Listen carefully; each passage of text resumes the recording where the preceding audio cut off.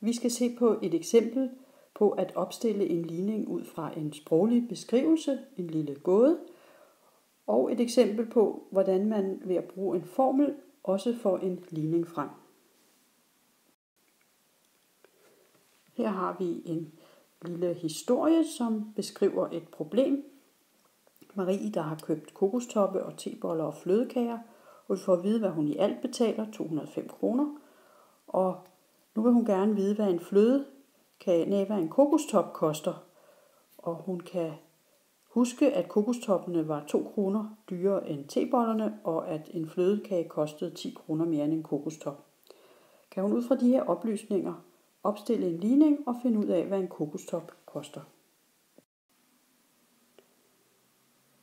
Når man skal øh, opstille en ligning på baggrund af sådan en lille historie her, så er det en god idé lige at skrive de oplysninger, man får ned, sådan lidt øh, overskueligt.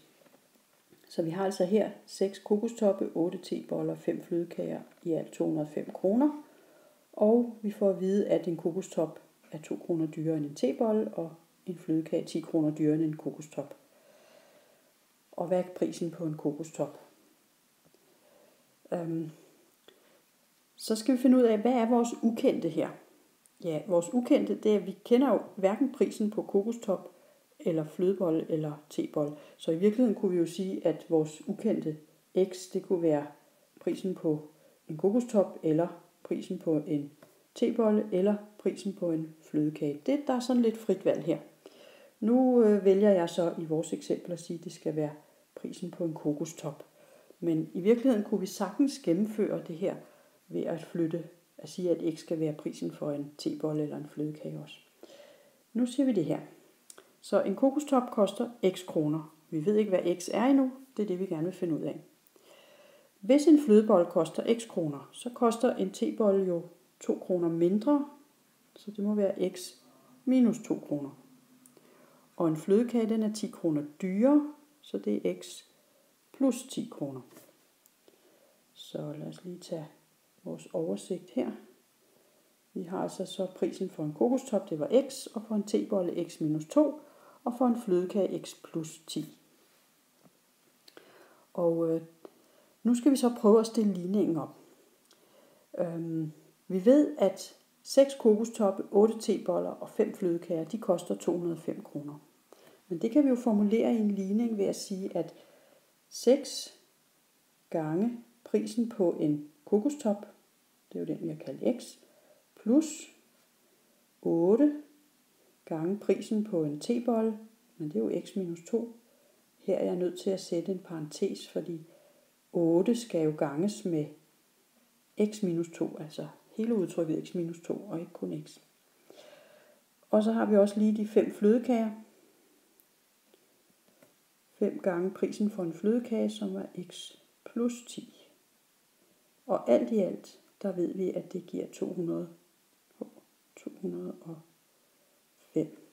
Sådan. Så her har vi altså opstillet en ligning, øh, hvor x er vores ukendte pris på en kokostop.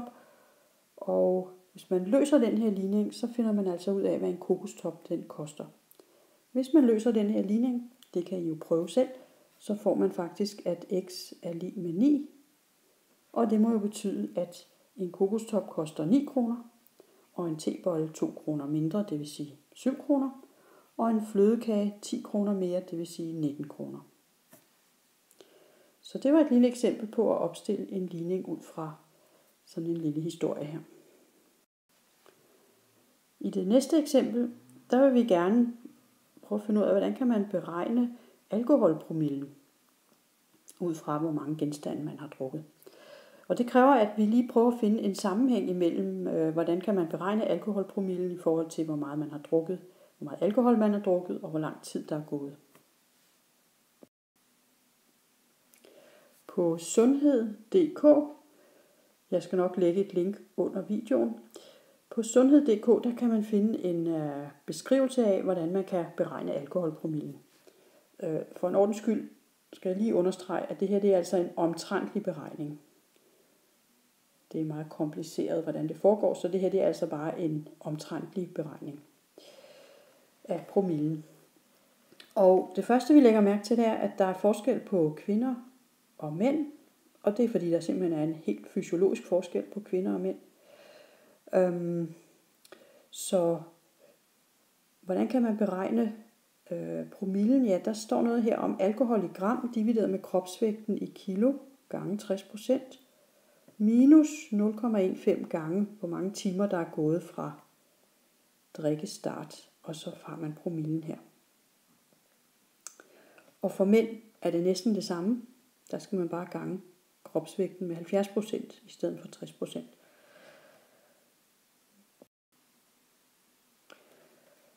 Ud fra den beskrivelse, som der nu er her i, øh, i sundhed.dk, så kan vi altså øh, sætte nogle øh, parametre op, eller nogle variable op her, kan man sige. Øh, vi har øh, alkoholpromillen, den kalder vi for P, og A, det er hvor meget alkohol man har indtaget, altså alkoholmængden målt i gram. Og V, det er kropsvægten i kilo. Og T er antal timer efter alkoholindtag. Så kan man faktisk øh, sætte en formel op her. Sådan ser den ud for kvinder. At alkoholpromillen kan beregnes på den her måde. 60% af kropsvægten, det er jo det samme som 0,6 gange V. Og på samme måde her, 70% af kropsvægten, det er 0,7 gange V. Så vi har altså de her to forskellige for formler for henholdsvis kvinder og mænd.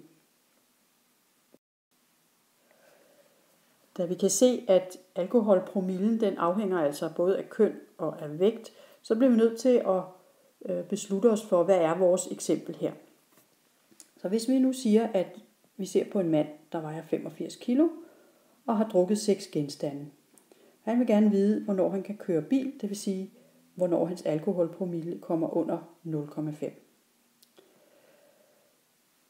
Så husker vi vores øh, variable her, og vores formel, og så kan vi faktisk stille en ligning op.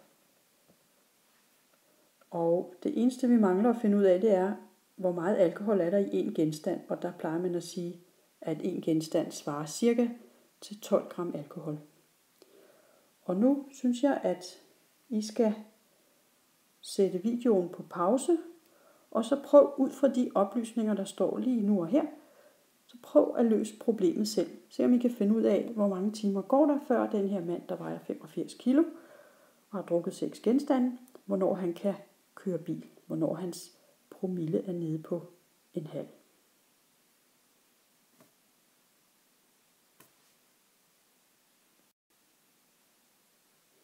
Ja, måske har du selv fundet svaret, men nu vil jeg i hvert fald lige skitsere, hvordan man kunne gøre det.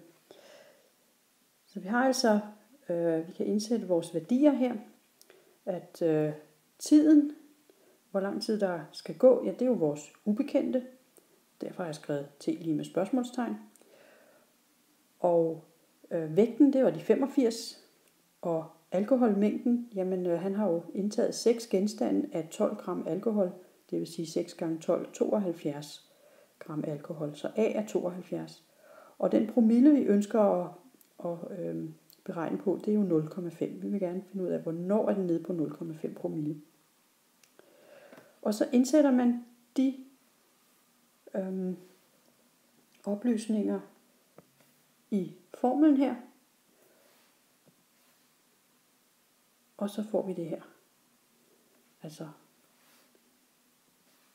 alkoholpromille 0,5, af alkoholmængden 72 gram, vægten 85, og T, det er den ukendte, den har vi ikke, der kan vi ikke sætte nogen værdi ind. Det er jo nu, nu har vi faktisk en ligning, som man kan løse. Den her ligning, der står her, den her ligning, der er jo en ubekendt, og den hedder så T i vores tilfælde. Rigtigt, vi plejer at lave ligninger, hvor den ubekendte hedder X, men her hedder den ubekendte T. Det gør ikke nogen forskel, når man skal løse den. Hvis man så løser den her ligning, ja, så vil man finde, at T er lige med 4,73. Og det må jo så betyde, at efter cirka 5 timer er mandens promille under 0,5. 4 timer og 3 kvarter.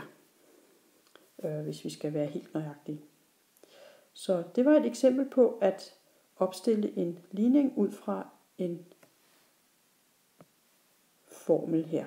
Og det gælder generelt mange, mange, mange formler, at de ofte giver anledning til, når man indsætter de størrelser, man kender, så er der en ukendt størrelse tilbage. I vores tilfælde var det t.